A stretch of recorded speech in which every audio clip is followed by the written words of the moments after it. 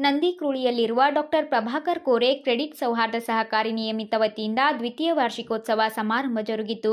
ಪ್ರಾರಂಭದಲ್ಲಿ ನಂದಿಕ್ರೂಳಿಯ ಪಂಚಲಿಂಗೇಶ್ವರ ತಪೋವನದ ವೀರಭದ್ರ ಮಹಾಸ್ವಾಮಿಗಳಿಂದ ಪೂಜೆ ಸಲ್ಲಿಸಿ ಕಾರ್ಯಕ್ರಮಕ್ಕೆ ಚಾಲನೆ ನೀಡಲಾಯಿತು. ಈ ಸಂದರ್ಭದಲ್ಲಿ ಸುದ್ದಿಗಾರರೊಂದಿಗೆ ಶಾಖೆಯ ಅಧ್ಯಕ್ಷ ಅಮಿತ್ ಜಾಧವ್ ಮಾತನಾಡಿ, ಡಾಕ್ಟರ್ ಪ್ರಭಾಕರ್ ಕೋರೆ ಕ್ರೆಡಿಟ್ ಸೌಹಾರ್ದ ಸಹಕಾರಿ ನಿಯಮಿತಕ್ಕೆ ಇಂದಿಗೆ ಎರಡು ವರ್ಷ ಪೂರ್ಣಗೊಂಡಿವೆ. ಆರಂಭದಿಂದ ಇಲ್ಲಿಯವರೆಗೆ ಒಂಬತ್ತು ಪಾಯಿಂಟ್ ಇಪ್ಪತ್ತು ಕೋಟಿ ರೂಪಾಯಿ ಠೇವು ಸಂಗ್ರಹ ಮಾಡಿದ್ದು ಅದರಲ್ಲಿ ಎರಡು ಪಾಯಿಂಟ್ ಹದಿನೇಳು ಕೋಟಿ ರೂಪಾಯಿ ಸಾಲ ವಿತರಿಸಲಾಗಿದೆ. ವಾರ್ಷಿಕ ವಹಿವಾಟು ಅರವತ್ನಾಲ್ಕು ಪಾಯಿಂಟ್ ಎಂಬತ್ತೈದು ಕೋಟಿ ರೂಪಾಯಿ ಹಾಗೂ ಪ್ರಚಲಿತ ಆರ್ಥಿಕ ವರ್ಷದಲ್ಲಿ ಐದು ಲಕ್ಷ ರೂಪಾಯಿ ಲಾಭ ಬಂದಿರುತ್ತದೆ ಎಂದು ತಿಳಿಸಿದರು. ಡಾಕ್ಟರ್ ಪ್ರಭಾಕರ್ ಕೋರೆ ಅವರ ಮಾರ್ಗದರ್ಶನದಲ್ಲಿ ಈ ಸಂಸ್ಥೆ ಪ್ರಗತಿಯಲ್ಲಿ ಸಾಗುತ್ತಿದೆ. ಸುತ್ತಹಳ್ಳಿಗಳಿಗೆ ಈ ಶಾಖೆಯಿಂದ ಬಹಳಷ್ಟು ಅನುಕೂಲವಾಗಿದೆ ಎಂದರು. ಇಂದು ನಮ್ಮ ಪ್ರಭಾಕರ್ ಕೋದೆ ನಂದಿ ನಂದಿಗುರಿ ಶಾಖೆಗೆ ಎರಡು ವರ್ಷ ಆಯಿತು. ಇದು ನಮ್ಮ ಸಾಪಾರ ಆಶೀರ್ವಾದದಿಂದ ನಮ್ಮ, ನಮ್ಮದೇ ಬ್ಯಾಂಕ್ ಚಾಲೂ ಆಗಿತ್ತು. ಎರಡು ವರ್ಷ ಆಯಿತು.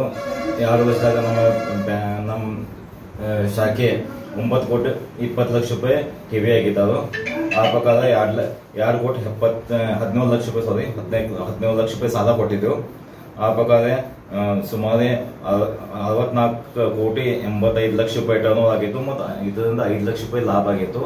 ಈ ಈ ಬ್ಯಾಂಕ್ ವತಿಯಿಂದ ನಮ್ಮ ಸುತ್ತಮುತ್ತ ಹಳ್ಳಿಗೆ ಮತ್ತು ರೈತರಿಗೆ ಬಹಳ ಅನುಕೂಲ ಆಗಿತ್ತು. ಈ, ನಮ್ಮ ಬ್ಯಾಂಕ್ ವತಿಯಿಂದ ಹೆಲ್ತ್ ಇನ್ಶೂರೆನ್ಸ್ ಕೊಟ್ಟು ವೆಹಿಕಲ್ ಇನ್ಶೂರೆನ್ಸ್ ಕೊಟ್ಟು ಮತ್ತು ಇದ ಬಾಕಿ ಸವಲತ್ತು ಕೂಡ ಆಯಿತು. ಆ ಸಲಾಗೂ ಈ ಸುತ್ತಮುತ್ತ ಹಳ್ಳಿಗೆ ಈ ಬ್ಯಾಂಕ್ದಿಂದ ಮತ್ತು ಸರ್ಕಾರ ಆಶೀರ್ವಾದದಿಂದ ಬಹಳ ಅನುಕೂಲ ಆಗಿತ್ತು. ಎಷ್ಟು ವರ್ಷ ಐತ್ರಿ ಈಗ ಈ ಬ್ಯಾಂಕ್ ಚಲೋ ಎರಡು ವರ್ಷ ಆಯ್ತು ಇನ್ನು ಎರಡನೇ ವರ್ಷ ಮುಗೀತು.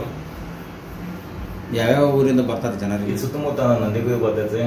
ಕೆಪ್ಪಟ್ಟಿ ಜೋಡ್ಕುದಿ ಮೆಕಲ್ಕಿ ಗಿರು ಸ್ವಲ್ಪ ಆಲ್ತಾ ಹೋಗಿ ಬರ್ತೈತಿ ಕಾರಾಪುರು ಸುತ್ತಮುತ್ತ ಅಲ್ಲೇ ಎಲ್ಲಾನು ಬರ್ತದೆ ರಾಯಬಾಗ್ ಗ್ರಾಮೀಣ ಎಲ್ಲ ಇಲ್ಲೆಲ್ಲ ಫ್ಯಾಕ್ಟ್ರಿ ಬಿಲ್ ಬಿಲ್ ಎಲ್ಲ ಹಾರ್ವೆಸ್ಟಿಂಗ್ ಎಲ್ಲ ಇಲ್ಲೇ ತಂದು ಮಾಡ್ತವೆ ನಮ್ಮ ಶಿವಶಕ್ತಿ ಬಂದಂತೆ ಚಿಕ್ಕೋಡಿ ಫ್ಯಾಕ್ಟ್ರಿ ಈ ಸಂದರ್ಭದಲ್ಲಿ ಶಾಖಾ ವ್ಯವಸ್ಥಾಪಕ ನಾಗೇಶ್ ಮಗುದುಂ, ಸಲಹಾ ಸಮಿತಿ ಸದಸ್ಯರು ಮಹಾದೇವ್ ಬಾನ್ಕರೆ, ಶಿವಪ್ಪ ನಾಯ್ಕ್, ಕಾಡ್ಗೌಂಡ ಗುಂಡ್ಕಲ್ಲೆ, ಪ್ರಕಾಶ್ ಸಂಗೋಟೆ, ಕೇದಾರಿ ಮಾಳಿ, ವಿಜಯ್ ಮಾಂಗೂರೆ, ಬಣ್ಣಪ್ಪ ಹಿರೇಕುರ್ಬರ್, ಕೃಷ್ಣ ದತ್ತವಾಡೆ, ವಸಂತ್ ಉಪ್ಪಾರ್, ಸಂಗಣ್ಣ ದತ್ತವಾಡೆ, ಶ್ರಾವಣ್ ಕಾಂಬ್ಳೆ, ಪೃಥ್ವಿರಾಜ್ ಜಾಧವ್, ಅಶೋಕ್ ಮಂಗ್ಸೂಳೆ, ನಾರಾಯಣ್ ಸಾವಂತ್ ಸೇರಿದಂತೆ ಅನೇಕರು ಉಪಸ್ಥಿತರಿದ್ದರು. ಐಸಿಬಿ ನ್ಯೂಸ್ಗಾಗಿ ಅಂಕ್ಲಿಯಿಂದ ರಾಜು ದೊಂಗುಡಿಯವರ ವರದಿ.